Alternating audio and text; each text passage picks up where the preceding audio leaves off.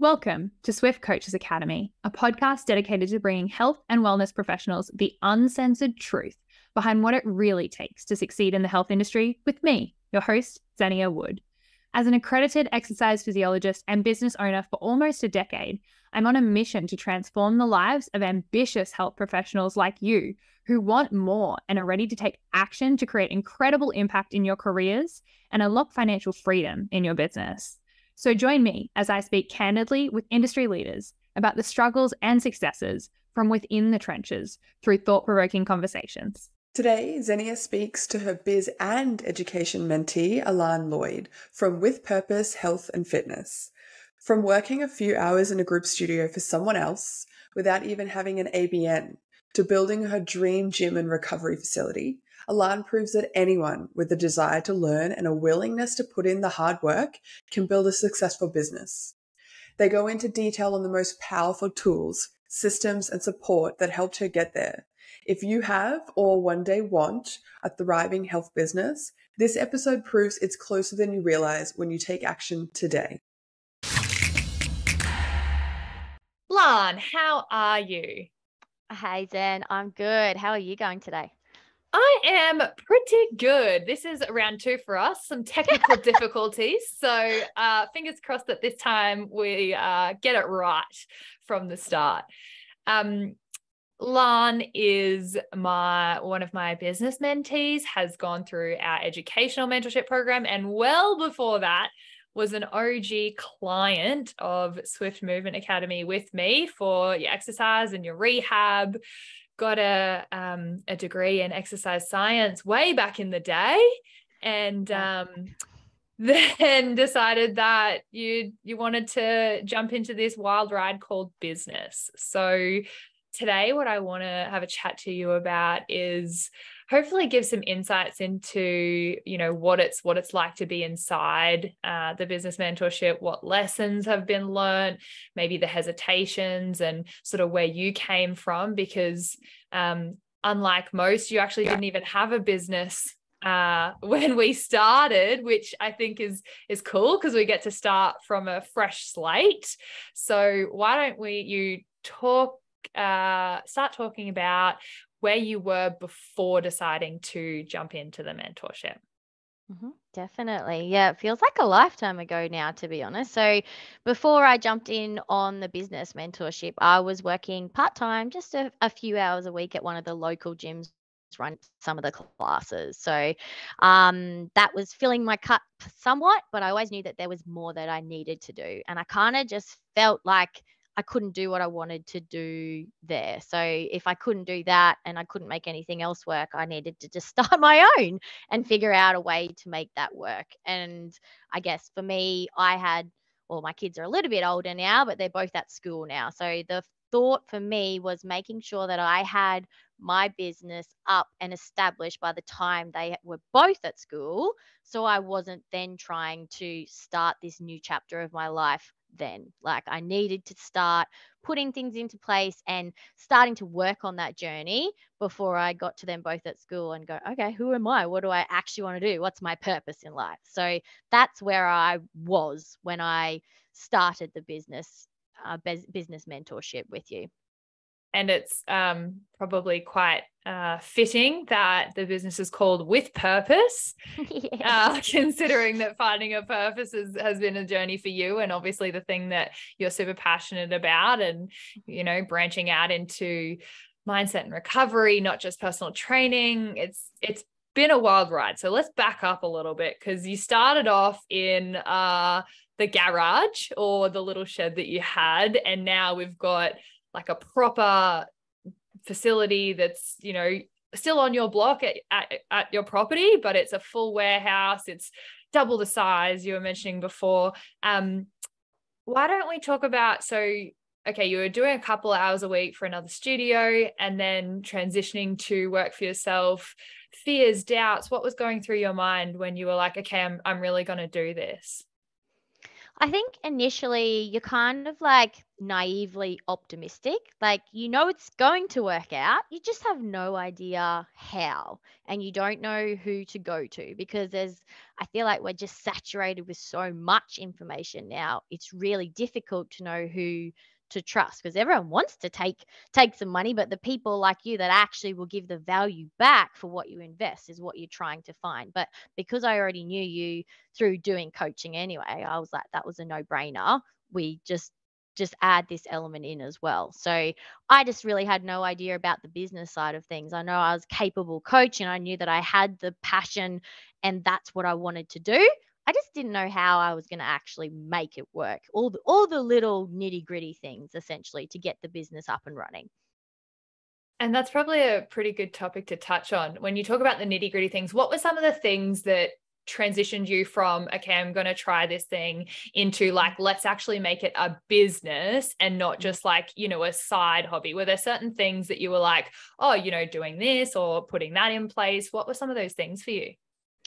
So I think making sure that you one keep yourself out of, out of jail and make sure you've got all of the insurances, all of your liability, all of the things that are important. But if you don't know about them, you don't know about them. So having systems in place. So starting to have a client booking system and how clients are managed and everything like that, a software for training programs, all of the things that you could do in an Excel spreadsheet or just messaging, but oh my God, it would take up so much time. So, trying to find systems that work for you and where your main focuses need to be. So, identifying how much you're spending, how much is coming out of the account to make sure that there is money in the account, and then knuckling down and trying to find the systems that work for you and scaling them. So your your business systems obviously are different to mine because mine's on a much smaller scale, but still applicable. So trying to find those elements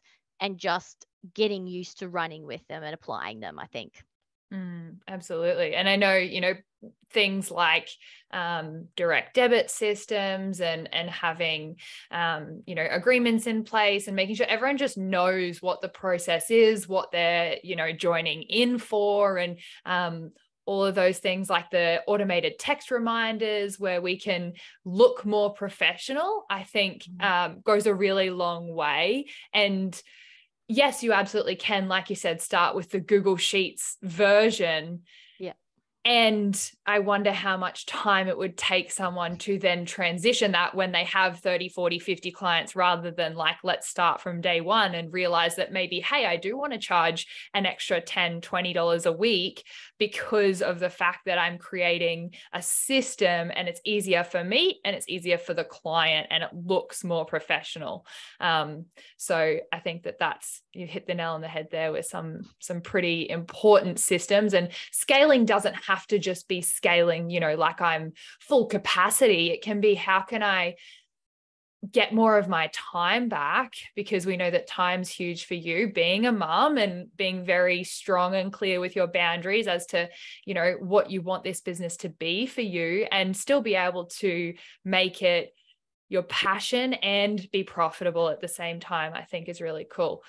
Um talk to me about so we very quickly went from working for someone else to your little garage to now we've got a slab down on your property, full blown warehouse gym style recovery center. Um, when going from the one on ones to the semi private because you're at capacity, mm-hmm. what sort of um, what sort of things were going through your head? Any fears or doubts? And then you know what sort of um, helped you take the leap? Mm-hmm. So as we discussed, I hadn't actually start my started my business when I started the business mentorship. So I was already getting the weekly support and advice to then figure out once you do once you are at capacity one-on-ones and you're not willing to give you're at your time capacity what do you do so being able to scale and go to semi-privates is once you know it's a no-brainer but before you know that, you don't know any different. So trading the one on one for time is a little bit different. But I guess for me, um, being, I guess, just unsure why people would choose to come and see me in a semi private capacity compared to going to somewhere else. So, what makes me different? And that's, I think that was being a little bit naive again, a little bit unsure, starting out and trying to think, oh gosh, okay, I like I know I can do this, but getting that validation from your clients, which I was just saying before, we're now at capacity for both of those semi privates. And it's really rewarding to think, oh, they, yes, people coming here and people enjoy it and people stay and they get results. So it's just when you haven't done something, you need that little hand, I guess, to support you to be like, it's okay, you can take these next two steps because you've already done that. So you know the path. So for someone doing it for the first time, it feels scary and unknown. But then once you've done it, you look back and go, oh, it actually wasn't that big of a deal, even though you think it was at the time.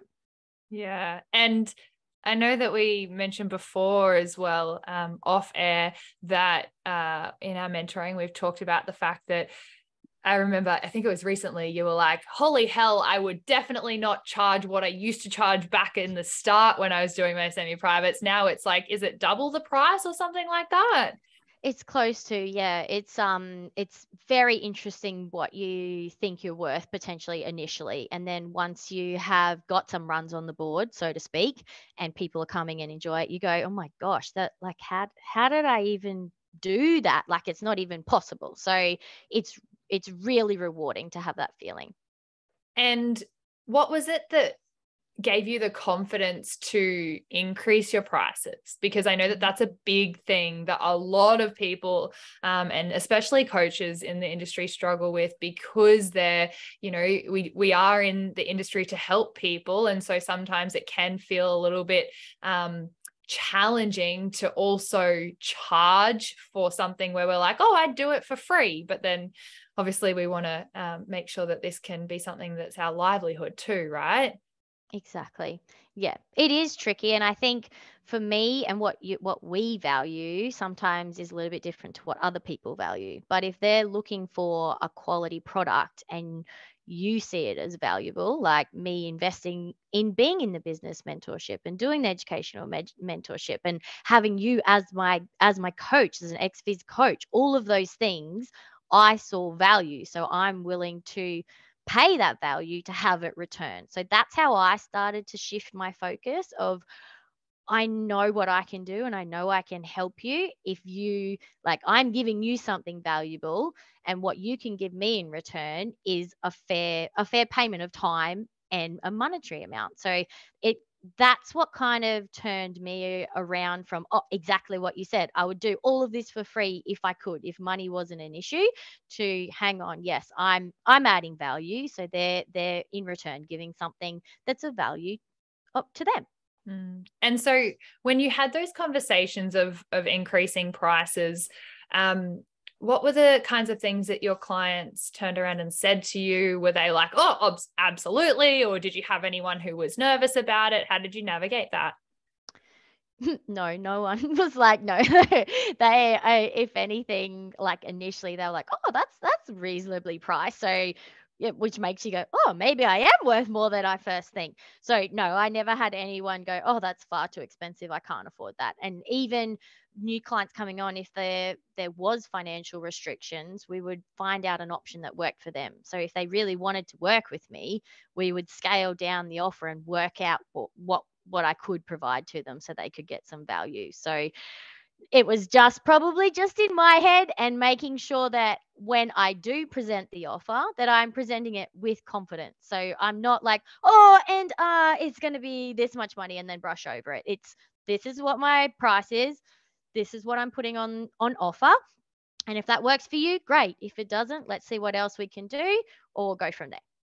I really love that. And I love, um, I know we've spoken about this a lot. I love it's not devaluing your service, it's creating opportunities and saying, hey, look, I'm not going to reduce my price, but what I can do is something you know that is less um, touch points or something that still you can still work with me in a different capacity um, i love that because then everyone else who's in the program isn't you know you do a little sneaky discount for someone on the side and then other people if they were to find out it's like okay well that's also not fair in the inverse to have one person mm-hmm. on a discount and everyone else not and i think sometimes you know we think about sales or discounts as like, you know, but we really want to help people, we want to get them in. But it's like you've got to remember your clients as a whole are going to um, you know, want to feel like it's fair across the board and also make sure that the value is there for everyone.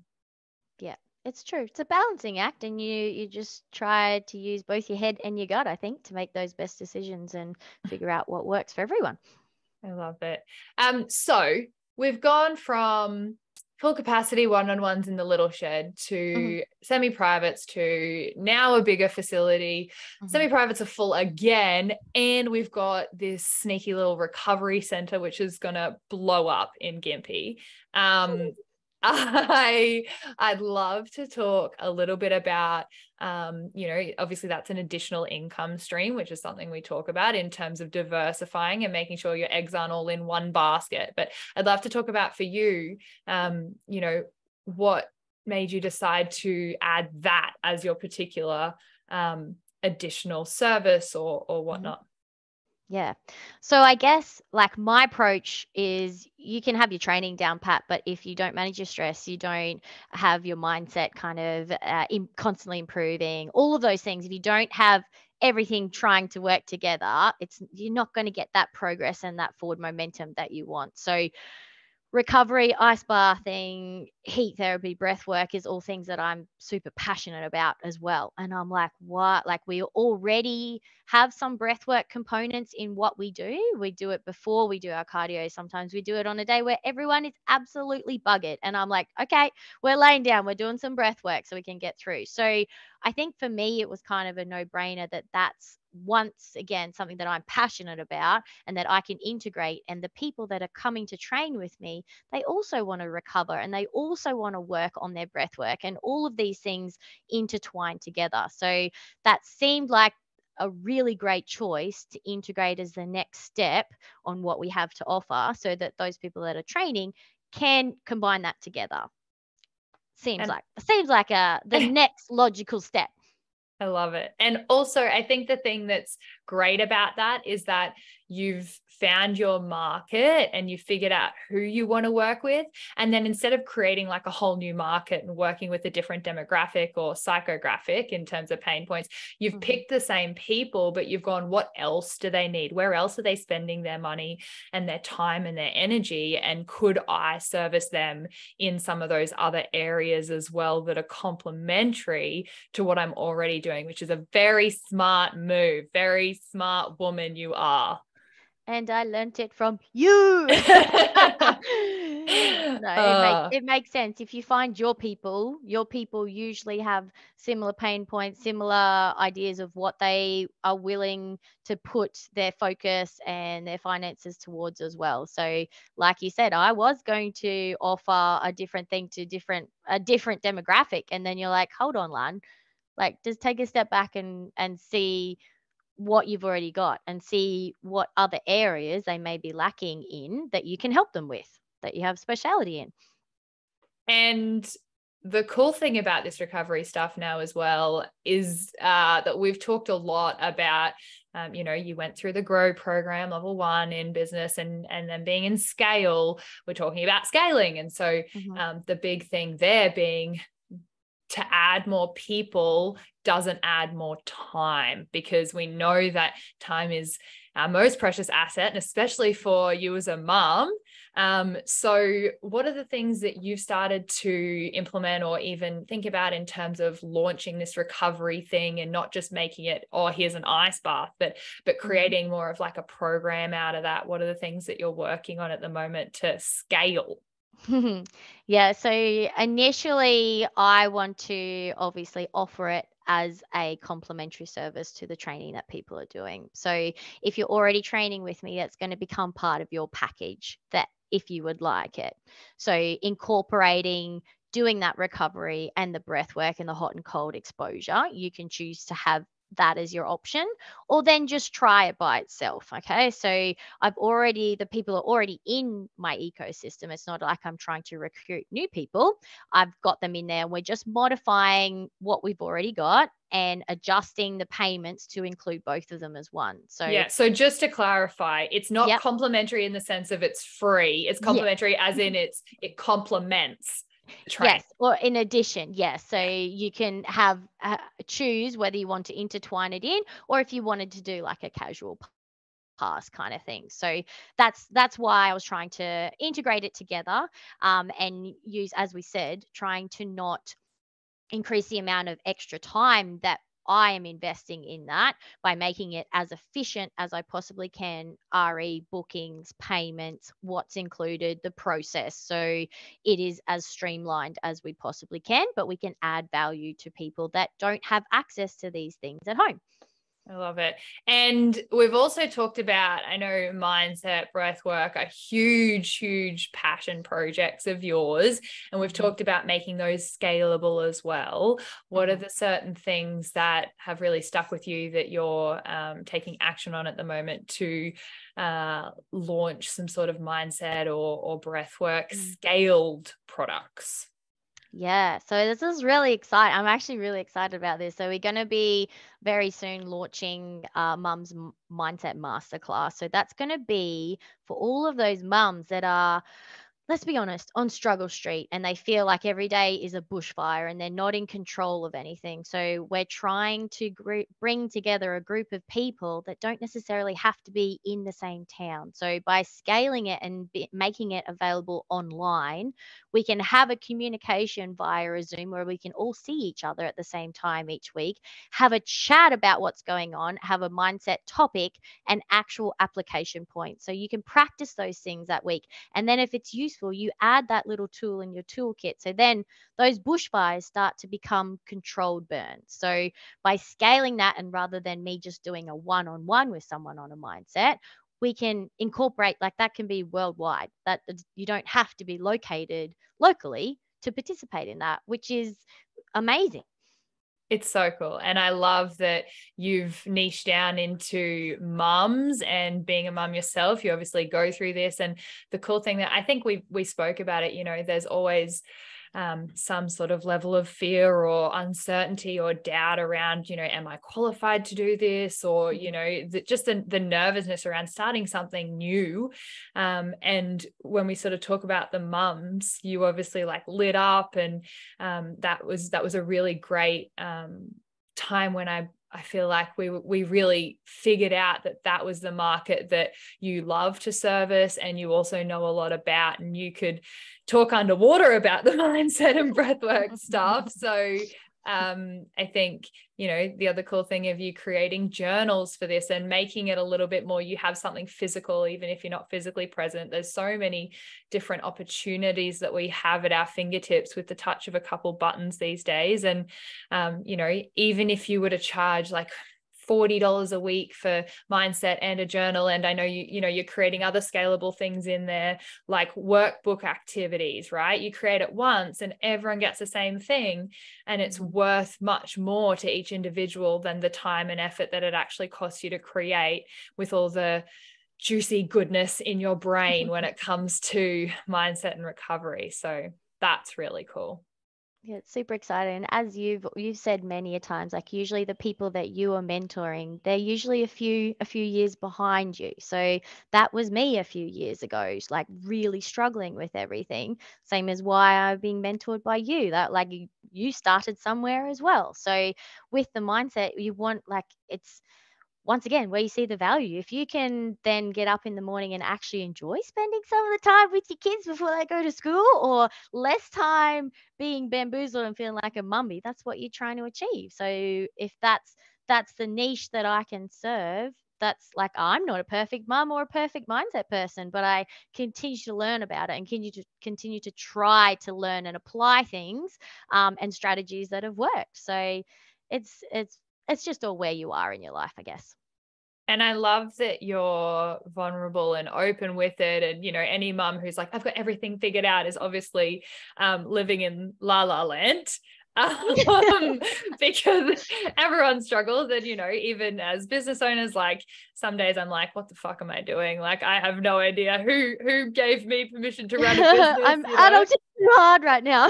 yeah, absolutely. Um, so I guess on that, what sort of belief shifts did you have to go through to come to a position where you're like, no, I'm gonna create this mum's mindset breathwork you know community and i can be the leader or a sort of um, a figurehead in this because of my you know what sort of things maybe i know we spoke about some things that were holding you back or or whatnot but i'd love you to share maybe one or two of those that you had to shift to then move mm-hmm. through and be like yep i'm doing this Mm. I think the first one that just comes to my head, just to do it scared. Doesn't matter if I feel like, oh, I'm not worthy enough. Why, why, why? You just do it. Because if you believe in it, it feels right in your gut, it's going to work out. You might not get it right the first one, 50 times, whatever it may be. You do the thing that is scary because you know that it feels right. Usually, on the other side of that fear is where we start to really enjoy the things that we're doing, which I've proven starting the training side of things. So this is just another element that, yes, it's big and scary and new, but I know it will be okay. But it's okay for me to be scared. I'm just going to do it anyway. So just backing yourself, basically. Yeah. And yeah. did you feel like having the support of, you know, the mentorship, not just me, but like the the community or and the, you know, we have a quite a um quite an intimate group in our our scale academy. Did you feel like that almost was a bit of a safety net to sort of give you the confidence to do it? 100%. Yeah. So having those few other people that are actually in your corner as well and doing having their own challenges and wins is always beneficial. Like it feels like you're all on the same team even though we're in all different parts of Australia and the world coming together for that little bit of time each week and we're like okay what are you, what are you going through well, yeah you can totally do that it's it's having that just that little bit of a little bit of a tap on the back to be like, yep, you got it, where you go, kind of thing. So, mm. yes, 100%. Otherwise, you just get in your own head and you go round, round, round, round circles, and then you end up not doing anything. Mm, yeah, I see that a lot with people who sort of um, come in and out of of of their business and and letting their their mindset sort of lead the path either positively or negatively and it's mm-hmm. huge right like absolutely a lot of what we speak about in the mentorship is the strategy is actual tangible things like go do this like what's your most important task of the week? Mm-hmm. like let's actually execute take action i'm huge on that. And if we have a mindset that's going to inhibit us from you know getting behind the camera and talking about whatever our topic is then we're never going to be able to take the action. So i think that starting there um, and starting with being confident, understanding your purpose, um, and then being able to execute on that. They they really go hand in hand, and I I love that um, you also feel like the scale group uh, and just the mentorship in general, like we create lifelong friendships in that, and I think that's the coolest part because I hear you guys have have little chats without me, and sometimes I get FOMO, but I love the fact that you know you're genuinely there supporting each other, um, not just in the the hour or whatever a week that we spend with each other, but throughout the entire process. Mm, and I feel like that's really hard to connect with people that are on similar paths. Like it's only the people that are going to invest their time and their money in something like this that you will meet because there's so many other people trying to do the same thing or saying they want to do that, but not actually putting the work in or backing themselves and showing up every week and doing those tasks. So it's re- a really good way to find those gems of people that you can relate to really well. Absolutely. I think mentorship programs and and other like-minded people who like you said don't just talk the talk but actually walk mm-hmm. the walk and show up when shit's hard are, are very um, few and far between. And when you do find your your tribe of people you have to make sure that you hold them tight and make sure that you support them just as much as they support you. It's so true. It's so true. Oh um so I would love to know what going through the last two years of business mentoring mm-hmm. with me with with the groups has maybe taught you or some of Mhm. the the biggest lessons along the way Mm, definitely. I think it really, like, as we've talked about, once you know, it seems straightforward, but before you know it, it doesn't. Just sheer discipline and accountability, showing up and doing the things and being really specific, like you said before, about what you're going to do.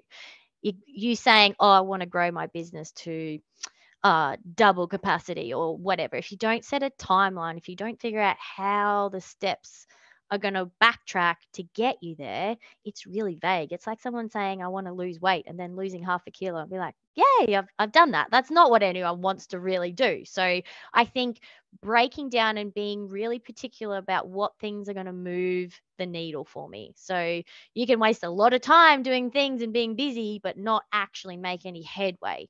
So, as we talked about, a specific task that we were going to be focusing on and ticking off, and getting that tick in that column just gives you a vote for that person saying, I said I'm going to do this, I did this, tick it off, move on to the next. And you just keep building up, same as reps in the gym. So, definitely that was one of the biggest ones for me. anything else that you maybe like something that you uh, ended up taking action on and and realized after the fact or um, any sort of golden nuggets I think for me personally, it was just believing in myself and setting boundaries and actually following through with them. Before I was, before starting the mentorship, I was a guilty people pleaser and I would bend over backwards. I'd give you the clothes on my back and then I'd be like, oh, well, this sucks for me now. So making sure that I set my own boundaries so that I could be happy and feel like I was providing a service and that it wasn't eating into any other time, I think was a really big one for me. So it's not that I'm trying to be rude or saying I don't have any more capacity. It is that is my boundary around me. So you know where i am. I know where you are and everyone can work happily. And i don't want didn't want to build up any resentment of trying to do extra hours. And then getting to the stage where my kids are teenagers be like uh-oh i worked way too much when they were little. Now they don't really want to hang out with me now they're older so i think that was a really big one for me that you guys have helped me a lot and i'm still getting better at it as i get older but the more that I live this crazy life of running your own business and trying to really enjoy it, the more it solidifies. That's awesome. I think boundary setting is huge, right? And mm-hmm. people pleasing, because I think that oftentimes I think that the intent behind people pleasing is to be kind and generous. And what it eventuates into is you bending over backwards, doing things that you wouldn't normally do or don't align with what you want in life to help someone else. So, like you said, taking the clothes off your back and then being in the freezing cold, right? Like you can you know maybe maybe make some more clothes or buy some clothes yeah. or something and everyone can everyone can benefit from it i think that um, people pleasing is really um, not having that confidence to set your own boundaries and recognize that you know it's it's really a, a form of of self-care or a form of um, self-respect to have those Mm-hmm. boundaries because we all have them and if you're going to respond to every single client at wee hours of the morning um, because maybe they live in a different country it like it's it's really not serving you or them because they're not learning boundaries either and then it's going to flow into their clients and and what they do with their friends and family so um I love that you touched on on people pleasing and boundary setting because I think it's so important even if it's things like you know i'm committing to not work on Mhm. wednesday nights because i want to hang out with my partner or whatever it is i think having those things in place so that we don't lose sight of the fact that we're building a business so that we can have freedom and do what we want not have the business run us um, and have the business work for us not us work for the business and start thinking like business owners and not um, you know, running the hamster wheel, but just on our own dime and working 5 a.m. till 9 p.m. for yourself instead of nine to five for someone else, right? Exactly. And when you are when you do get busy, sometimes you lose sight of that. So having a group of people where you are constantly trying to streamline, make the most efficient way to do things so you can get your time back, you do start to get more time back when you apply what you've learned. So scaling, having your VAs, automating your systems, all of those things give you time back so you can choose how to then reinvest or what else you're going to start, which is what we want to do. We don't want to be brown and dying. We want to be green and growing and trying to live our best life, as cliche as it sounds. I love that. And you've touched on the the, the VAs or Swift Assist mm. that you use. Um, so maybe we we dive into that for for a hot minute in terms of, you know, you're at capacity and so you go, oh, I, you know, I still want to service more people why mm-hmm. did you decide to get a, a virtual support um, for your business? And sort of financially why did that make sense for you? Mm, it took me probably longer. I'm sure you hear this a lot. It took me long it should have because I thought it's just me in my business. Surely I'm not fancy enough that I need someone assisting me like virtually to do all this paperwork. And then you realize, God damn, this stuff takes a long time and it doesn't light me up. I don't like entering things into spreadsheets. I'm sure some people they do, they do, but it's not it's not my passion. So when I it's like one of those things once I did it, I was like, oh my God, this is amazing. Why did it take me so long to actually start doing it? And once again, it started at a small capacity. I was only doing having a few hours a week where I had my Swift assistant, and now that's doubled. So once again, that takes more time off me entering doing the things that are lower on my light me up kind of scale and gives me a little bit more mental capacity to go okay what's next? Where what am i missing? Like are we getting enough feedback from clients? Are we whatever it may be. So it just gives you that really really uh, i guess whirlwind brain where you're just trying to do the best you can to kind of let it settle a little bit and you can go yes i trust this person to check that everyone's paid me. And if someone hasn't, then they will let me know and we'll action it. Those kind of things that take up mental capacity that you don't need to have in this brain. It just it needs to be in a brain, but it doesn't have to be in your brain. If that makes sense. Absolutely. Preaching yeah. to the choir, Lon. I yeah. also I, I love because you know a lot of the times it can be a, a time thing or a money thing where you're like, okay, well, if I earn, let's say a hundred dollars an hour mm-hmm. and mm. my Swift assistant's like a quarter of that, um, then you know, I only need one more client and I can have four hours of my time back. That's often the approach that, um, you know, makes most sense. But what isn't spoken about that I love that you've mentioned is the mental capacity. And sometimes you just need, instead of doing your bloody bank reconciling on a, on a Thursday night till 10 p.m., it's just the mental capacity that we don't have for everything. And so to be able to have some of those mundane tasks that don't light us up removed to be able to create space. I love that. Create space to think about new things, to go, I do want to create a, you know, an online mindset mums course or whatever it is for for you.